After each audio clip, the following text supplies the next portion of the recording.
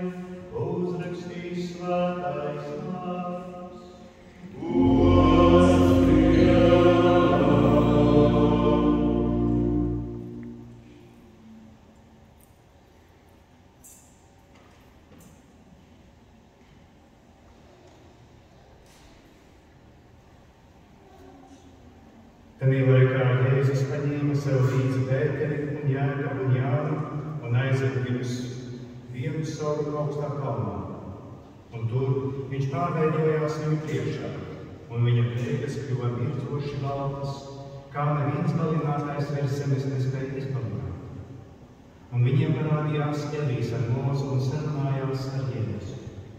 Bet Pēteris atbildot sacīja Jēzum, Rabbi, mums ir labi šeit būt. Mēs uzcelsim trīs teltis, vienu telpu, vienu mūzu un vienu Elijam. Jo viņš nezināja, ko runāt, tā kā viņi bija ļoti izbijušies. Tad parādījās mākonis, kas viņus apvēroja, un no mākoņa atskanēja balss. Šis ir mans mīļais dēls, viņu klausiet. Un viņi to dara. Atskatījušies visapkārt, vairs nevienu neredzēja, kā tikai Jēzu viņiem blakus.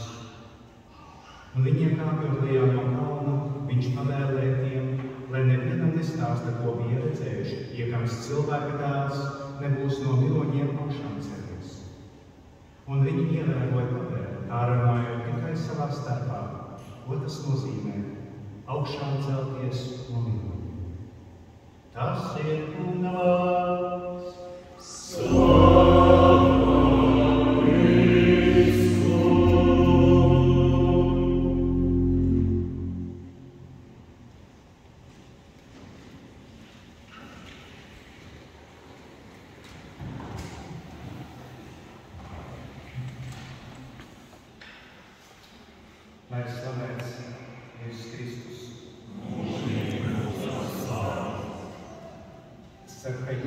liels prieks, un man ir liels prieks eh, pirmkārt jau svinēt šos svētkus, eh, kas ir Kristus pārvietošanās svētki.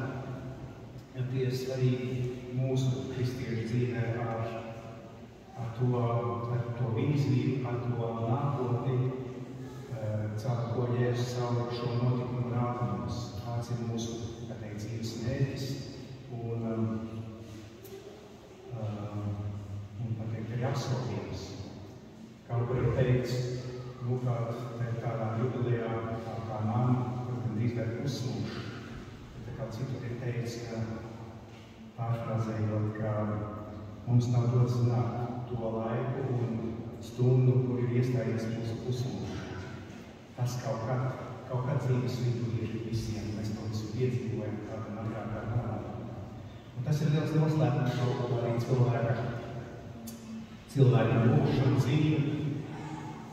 Un to attiecībā mums šo, šo noslēpumu jau vairāk atklāja pilnībā atklāja pats Jēzus Kristus, kas ir pagodināts, no Dieva tēva pagodināts, un viņš ir augšām celšies, viņš ir Dieva pagodinātais, mīļotais dēls. Un, kad lasām evaņģēliju, mēs noteikti pamanījām, ka apostoli bija ļoti apmausuši. Viņi sāka runāt dažādas lietas īsti pat nesaprotami. Pirmais, kas nāca prātā, to arī runāja.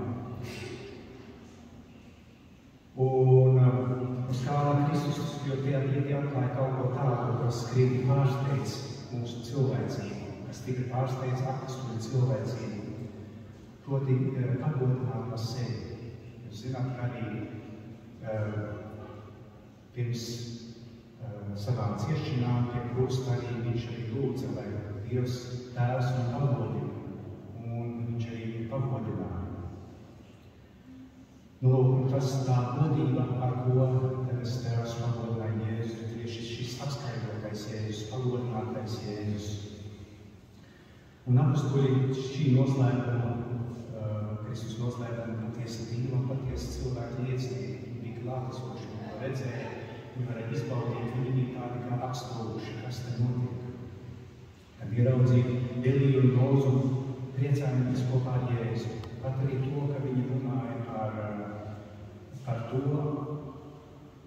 caur ko, ko Kristus izies, ko viņš piedzīvos, lai parādītu Dievas lielāko mīlestību pret visiem cilvēkiem.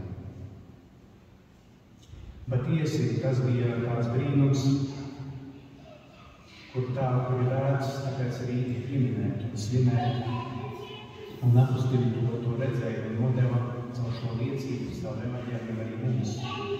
Un šeit tātad ir svarīga gan tā, tā vīzijas īņas, ko Jēzus caur šo parādīja atklāja, gan arī mūsu spēja to saprast, izzināt, kas ir liels noslēpums. Un redzam, kā apstuļi tiešām bija apstulbuši un nesaprata, ko, ko Jēzus caur to viņiem parāda. Un bieži arī mēs redzam, ka redzēšana kaut ko vēl nenozīmē saprašana. Dažkārt ļoti vienkāršas, pašsaprotamas lietas mums paiet garām, un mēs tās nedomājam. Un vēl tāds notikums, kā apstuļiem uz šajā kalnā, redzot, kas notiek ar Jēzu. Viņš kļuva balts, kļuva uh, ļoti spožs, spožāks par savu, kur bija grūti saskatīt. Un tāpēc uzrunāja vienu pāvesta Benedikta uzruna vispārējā auditorijā, kur viņš teica, ja skatoties uz šo noslēpumu, saprāts redz tumsu, tas nav tāpēc, ka noslēpumā nav gaismas, bet gan drīzāk tāpēc, ka to ir par daudz. Tātad, kā tad, kad cilvēki paceļ acis, lai paskatītos uz sauli, viņi kļūst akli. Bet kurš gan teiks, ka saule nav spoža vai gaismas avots? Tāpēc uz šo skaisto lielo spožumu mēs skatoties, mums ir nepieciešama palīdzība, lai mēs to redzētu, saprastu un varētu arī pieņemt šo realitāti, kas ir apskaidrojies Jēzus Kristus. Un tas, ko, ko mēs ieraudzām, tas mums ir kā vajadzētu redzēt arī tā žēlastības pasaule, kur, kurā atvērās uz mazu brīdi, tajā brīdī, kad Jēzus ir apskaidrots. Un vēlāk šī žēlastības pasaule pilnībā atvērās, kad svētais gars nonāca pār apstudiem un visu paslūsu. Un, lai šo noslēpumu patiešām redzētu, mums ir nepieciešama ticība. Apustuļi paši nespēja saprast, bet svētais gars viņus apēnoja tajā brīdī un atklāja. Ja? Tad parādījās mākonis un viņus apēnoja, un no mākoņa atskanēja balss. Šis ir mans mīļais dēls, klausīt. Pat ja tad arī mēs ja nesaprotam, ko Jēzus darīja, uz ko viņš mūs aicina, bet tomēr tās primārais, kas mums ir jāklausa, tad mēs būsim viņa tuvumā, tad mēs arī var pietiesim viņa ceļos. Un lai šo noslēpumu redzētu, tiešām ir vajadzīga ticība. Ticības gaisma, kas stiprina mūsu saprātu, mūsu racionalitāti, mūsu fizisko pasauli, bet kas arī to pārspēja un jau sasniegt un ieraudzīt to, kas ir apslēpts. To, kas ir apslēpts visai pasaulē, bet mums ir dāvāts tas caur sakramentiem, caur kristību, šī piederība Dieva tautai. Un Pāvis Benedis citādi teica, Dievs ar savu žēlastību izgaismo saprātu, pavēr priekšā jaunus, neierobežotus un benediktus, bezgalīgus horizontus. Šī iemesla dēļ ticība ir stimuls vienmēr censties, nekad neapstāties un nekad neapmierināties, neizsmaļojot patiesības un realitātes meklējumus. Ar svētā gara palīdzību noslēpums kļūst saprotams, noslēpums kļūst pieņemams un pieejams un kļūst, var teikt, savējams. Un šis noslēpums ko, ko, ko, ko apstuļi saprot uz kalnā, kur arī debes tēvs atklāja, kā Jēzus ir Dieva dēls. Dieva tēva mīļotais dēls, kurš ir jāklausa. Un Jēzus atkal stāsta un mācīja visus savus mācekļus sekot viņam, sekot viņam un darīt tos darbus, ko viņš darīja. dzīvot, ļaut, lai viņš dzīvo mūsos, tātad savos mācekļos. Un tad jau arī pats Jēzus darbojās, tātad būt ciešā vienotībā ar, ar Jēzu šajā dzīvē. Un apzināmies, ka mums, tieši tāpat kā apsturiem, var arī nebūt vārdi, lai šo gaisu izskaidrotu. Un zinām, ka arī daudzas lietas mēs neizprotam. Bet tomēr ticībā mēs redzam, ka mums ir kaut kāda pārviska pārliecība. Un tāpēc mēs esam aicināti gan pārdomāt šo dienu noslēpumu šajā dienā, kurš pieņēma cilvēku miesu un pateikt, līdzīgi kā apsturiem, mums ir labi šeit būt kopā ar tevi lai Jēzus ir vienmēr kopā ar mums. Viņš patiesi ir kopā ar mums Euharistijā, kur mēs viņu pieņemam. Un tad jau var teikt, ka ne mēs dzīvojam, bet viņš dzīvo pasaulē caur mums. Un varam lūgties, lai Dievs patiesi stiprina mūsu ticību, ļauj mums piedzīvot tieši Kristus un savu visās savas dzīves dienās.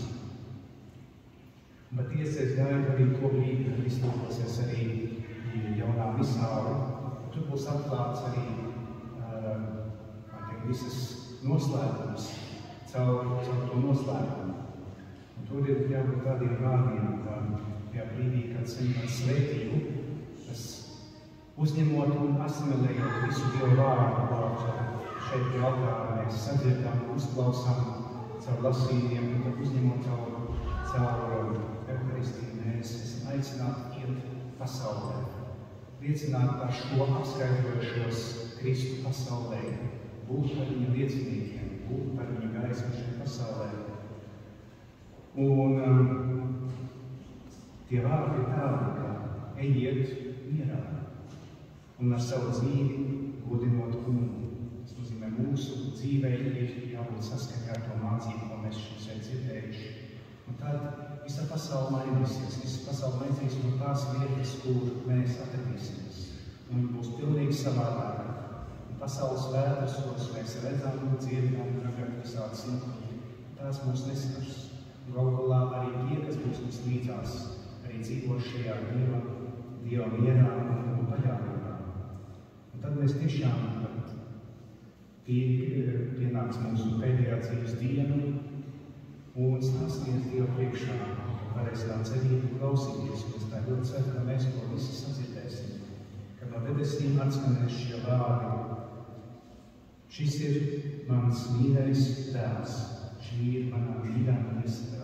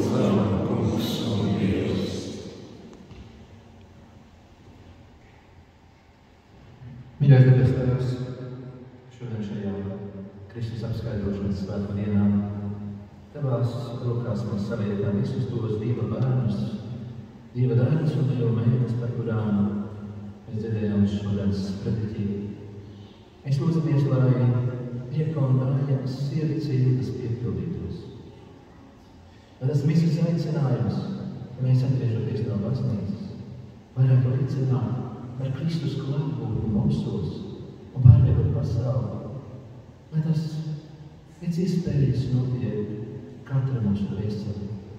Lai mēs esam dabūra gaismas līdzīgi, lai mēs nesam šo piekalu viņa sapni, viņa ilgu piepildījumu, nesam pasaulē augšām celšanās, apskaidrošanās un Kristus pārbūtnes nesam.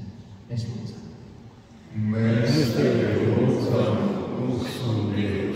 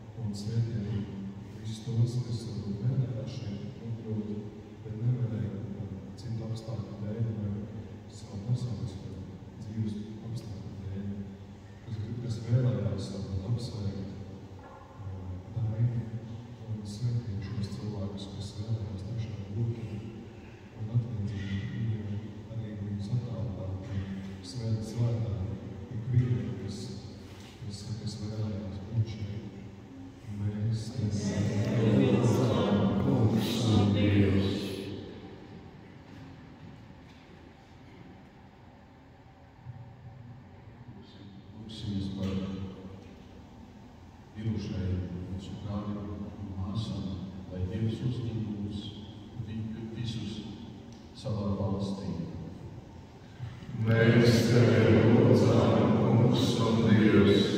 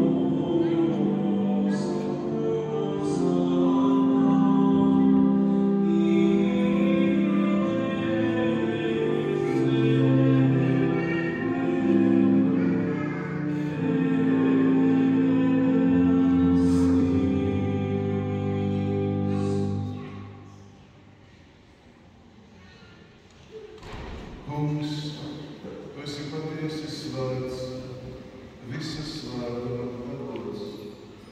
Tāpēc mēs tevi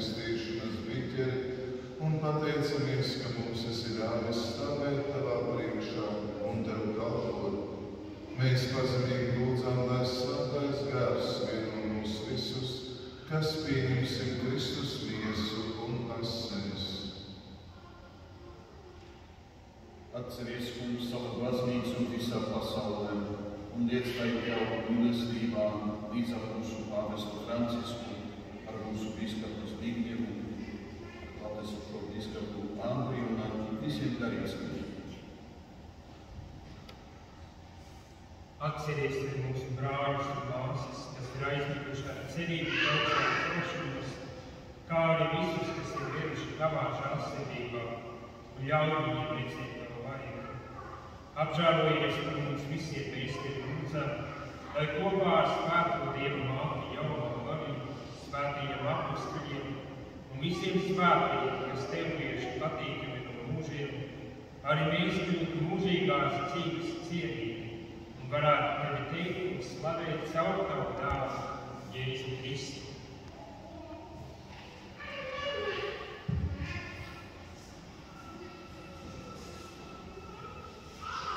Caur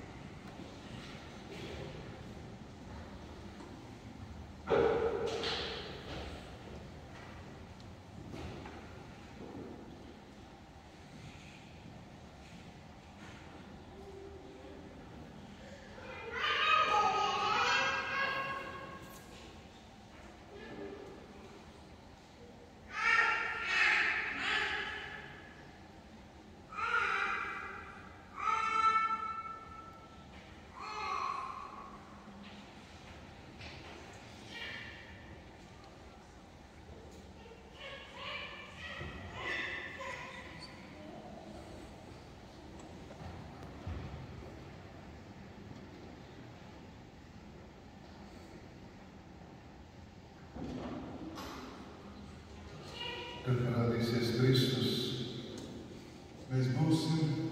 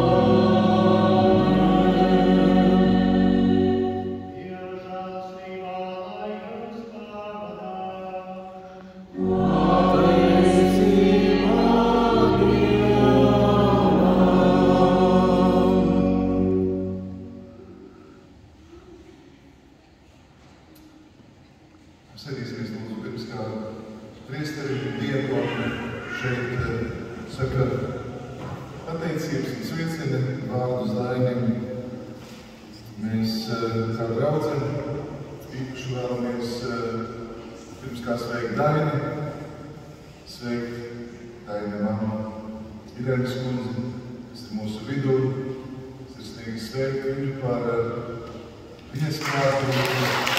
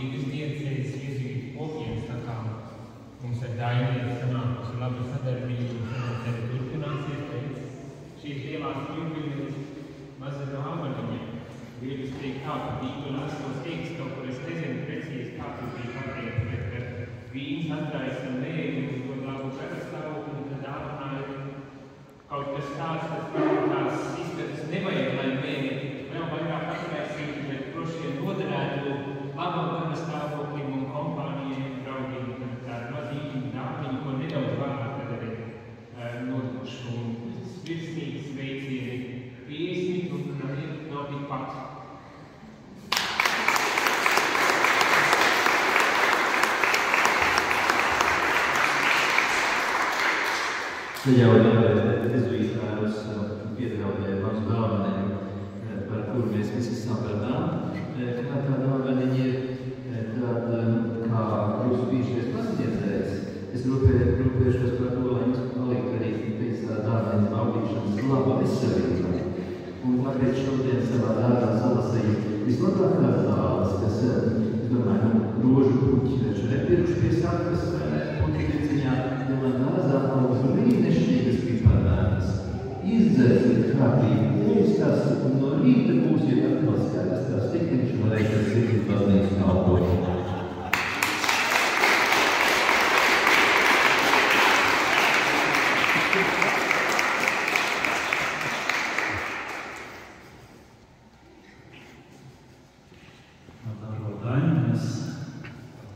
diakonu, tagad frontē nākamais. Mēs ļoti gribējām arī satikt baidu, izklausās, ka mums nav jau šodien klāt. Šie ziedi būs viņai domāta patiesībā, kas, kura ir pavada šajā ceļā, kas, kura devā šo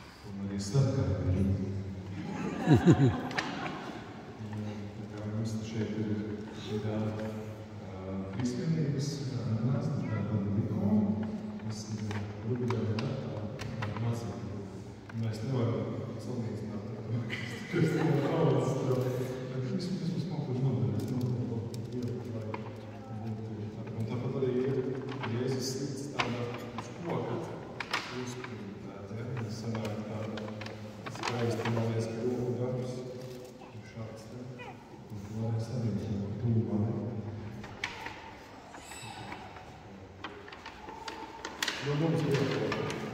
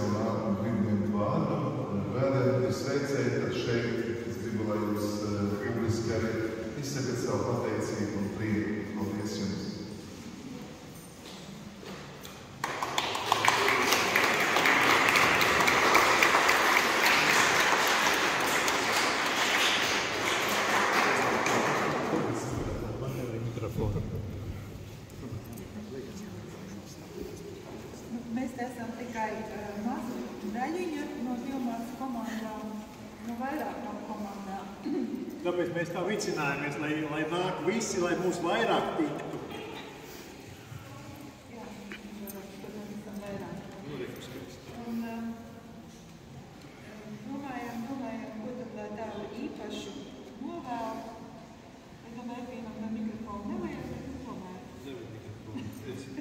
Es palieku uzticīgs savai balstiņai.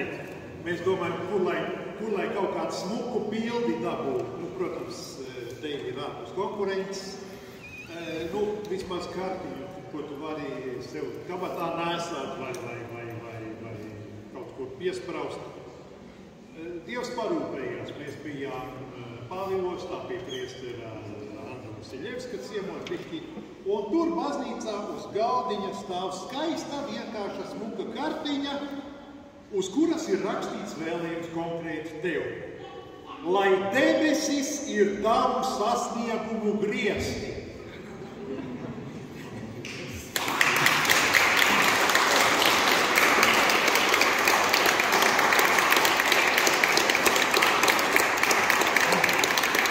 tad arī mums pierakstīja mūsu izvārdā klāt, lai ir kur augt un tiekties, jo pusmūžs ir laiks, kad esi gan vecs, lai zinātu, kā labāk izdarīt, un vēl pietiekami jauns, lai spētu to paveikt.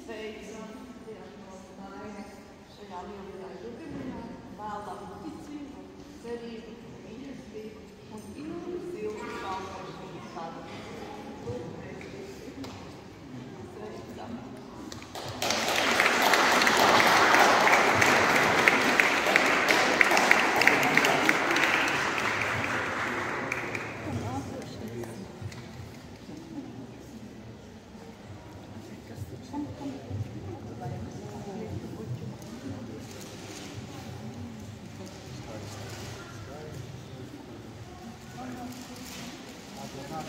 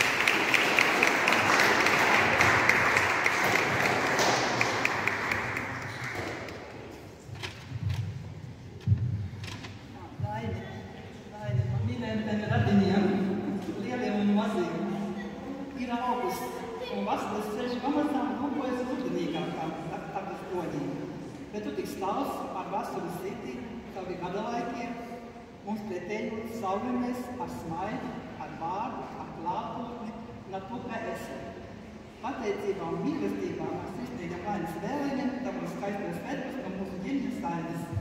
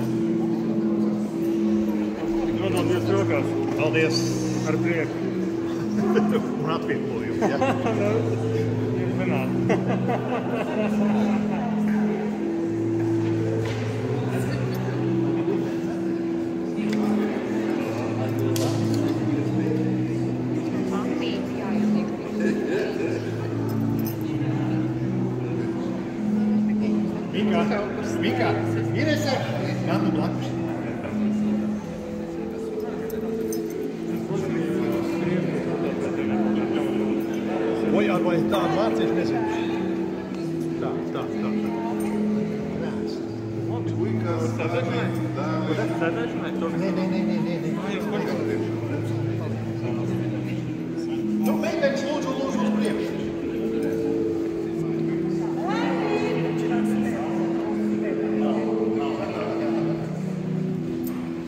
šī pusē pa daudz, tur ir pa maz.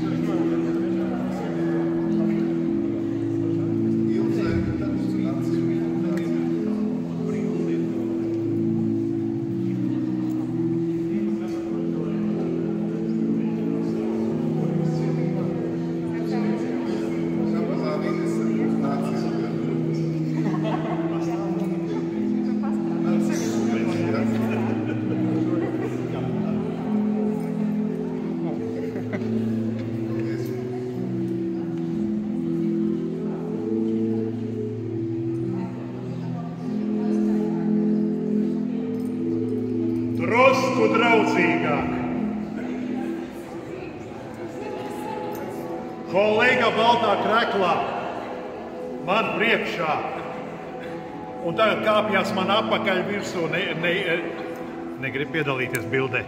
Nē, Nē? nē. Nu, vo. Gribēju kā labāk.